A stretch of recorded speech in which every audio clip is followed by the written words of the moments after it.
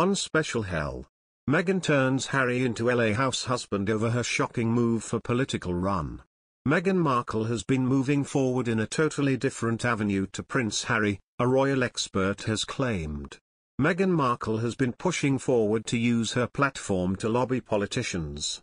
The Duchess of Sussex called Senators Shelley Moore Capito and Susan Collins on a withheld number about paid parental leave and a climate policy by the US government. Royal expert Neil Sean has claimed Meghan's involvement in politics has left Prince Harry as a house husband.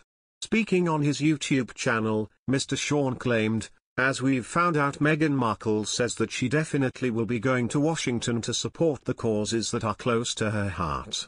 While she said previously that she doesn't demand or require a political career, it seems more and more that Meghan shines in the spotlight moving forward in a totally different avenue.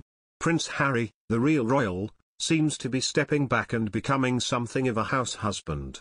Royal commentator Hilary Fordwich hit out at the Duchess of Sussex for getting involved in politics while using her title. It has since been reported Meghan is expected to make more of these calls. Access Hollywood reported, these won't be the only calls Meghan Markle makes.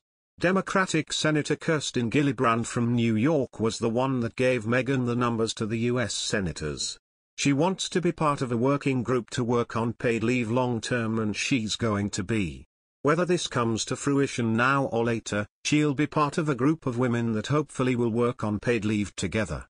Royal biographer Angela Levin has mocked Meghan Markle for jumping on the bandwagon after the Duchess lobbied the Democrat Speaker of the U.S. House of Representatives Nancy Pelosi and the Majority Leader in the U.S. Senate Chuck Schumer to push through a policy on parental leave. Ms. Levin claimed the measures, which have been backed by President Joe Biden, to introduce mandatory parental pay and sick leave had already gone through the U.S. Congress. It comes as growing numbers are voicing their belief that bathed Duchess of Sussex has complete control over her Duke. The growing consensus regarding the Duke of Sussex is that he is a puppet and that his wife Meghan is pulling the strings. This may not be true at all but it is what is continually printed by the media. The Duchess has been painted as a gold-digging female who always had her sights set on a prince. This takes away from the fairy tale that Harry and Meghan simply met and fell in love. From the beginning of their engagement the negative comments began and eventually took on a life of their own. No one but Harry and his wife know what is really going on in their marriage but the rumour mill has painted Meghan into a corner that she may never be able to get out of. In tearing down the Duchess, Prince Harry's reputation is also affected. The end result is that the youngest son of Princess Diana is being painted as henpecked and under Meghan's evil spell. Some are even referring to the prince as at whipped and that's pretty harsh. This is a sad state of events for the young man who once was third in line for the throne. Those who are being brutal are not even taking into consideration that Harry is an adult who can make his own choices. Prince Harry had always been somewhat different than the other royals from the color of his hair to his temperament.